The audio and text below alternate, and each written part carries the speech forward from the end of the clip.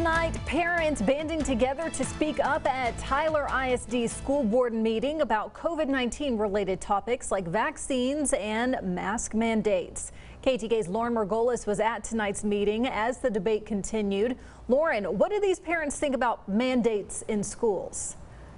Well, Casey, most parents we spoke to are doing their best to fight against mandates, and tonight the school board voted no to a mask mandate.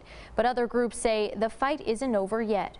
Vaccines and masks in schools have been topics in the hot seat since the start of classes. Subjects that have divided parents and staff in school districts across the state and here in Tyler. Mask mandate is something that is needed in our community.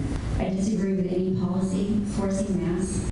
Parents say they've been speaking up since last month when the school board voted to give a $500 incentive to teachers who got the vaccine. it's unjust to to just give money to a certain group of, of teachers. that is uh, against medical privacy and it is against civil rights, especially of those who are deciding to not get the vaccine. While Tyler schools want to reward vaccinated teachers, some parents feel this money should be used elsewhere.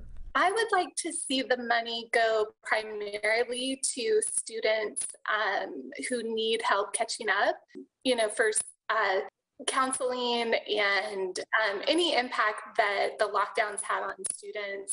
If we can incentivize all of them to take control of their own health instead of um, dividing out just simply those who take the vaccine, I think that would be a great way. The group says they plan on attending every meeting in this building until their voices are heard.